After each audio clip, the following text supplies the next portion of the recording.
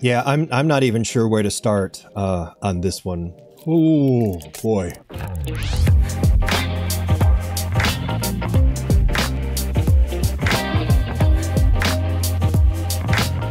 All right, let's start at the beginning. I was putting together a video and it was going to show the comparison of our price versus Adobe. And I had pulled up our website, I'd gone to our education prices and shown this is our education price and this is our commercial price so you can kind of see what we're saving. And then as a comparison, I had gone over to Acrobat's page and I was showing their commercial price and their uh, education price, which includes prices for students as well as teachers. Here we are on the Acrobat site, and here is our annual uh, paid monthly, $19.99 a month, and $239.88 a year, uh, but that's for individuals. So let's come on over here and see what kind of discounts we have for students and teachers. And for students and teachers, we have. Wait. Wait, am I am I doing that wrong? What? Okay, individuals, right? Okay, there's the, and then uh, students and and teachers. Am I? Am I missing something? What? Is that right? Well, that can't be right. Is that right? What is happening? What am I looking at? So so there's nothing. There there just there are no huh. I don't know what to do with this video now. Okay, so you can clearly see my confusion uh, when I was putting this together. Adobe Acrobat does not actually have a discount specifically for Acrobat. They do have a great discount for the Creative Suite if you're interested in getting everything. Uh, but when it comes to just Acrobat by itself, there doesn't seem to be uh, an education price, which is weird, right?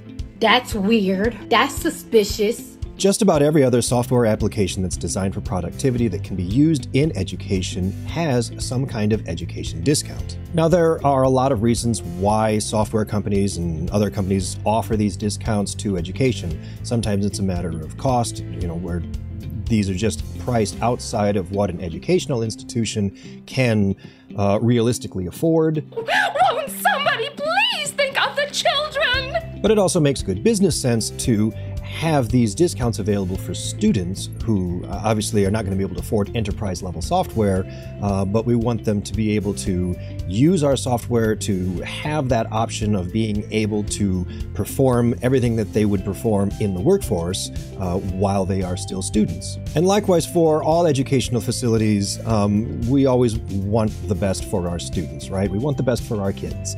And by providing these educational discounts, uh, we can ensure that more users have access to essential software. And I do consider a PDF editor to be essential software. Like, you need the ability to create and edit a PDF, regardless of what kind of business you're in, uh, education or otherwise because there are more PDFs than any other document file type on the internet. When you go to a website to download a document, you're usually downloading a PDF as opposed to like a, a Word doc or an Excel file. It's usually a PDF. And it's the same when we're in the classroom. Uh, the homework that we're handing out to our students, uh, if it's digital, it's usually a PDF. When we're downloading resources from places like Teachers Pay Teachers and Teachers Discovery, those are all PDFs. Uh, when we're downloading documents from government sites, those are all PDFs. So, having the ability to not only create PDFs for our own organizational purposes, but being able to edit those PDFs, update them, make them more modern, make them more custom, whatever it is that we need, that's pretty essential uh, for anybody that does anything with digital documents. And being able to provide this kind of software to educational institutions, which historically have not usually had uh, the best funding, should we say, at least in the US.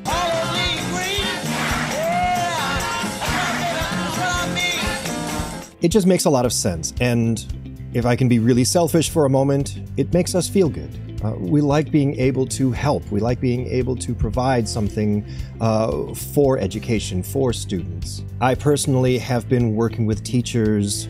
I don't want to date myself too much here, but uh, let's just say I was there when Windows 95 was announced and blue screened in front of everybody on stage. You'll notice that this scanner build. Whoa.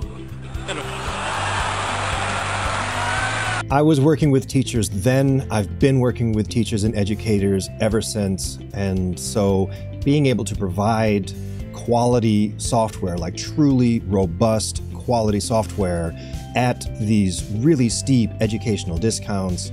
Uh, that means a lot to me, and I hope it means a lot to you. I hope that it's something you can use, and I hope it's something that your students uh, get benefit from as well.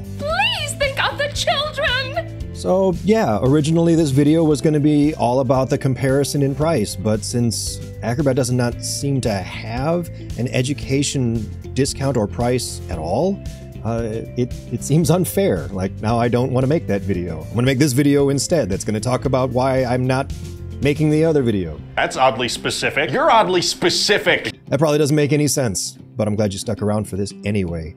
If you're interested in learning a lot more about Foxit PDF Editor and what it can do for you, there are links in the description below. Follow those, try it free. You get a 14 day free trial. That's plenty of time to convert some documents, edit some of your resources, update some material, whatever it is that you want to do with PDFs. If you're looking for volume quantity discounts for licenses over 10, uh, there is a link in the description below for that as well, so just follow along fill out the form, and we'll reach out to you and set up a time to talk and. Actually, sat down at my desk and didn't bring water with me.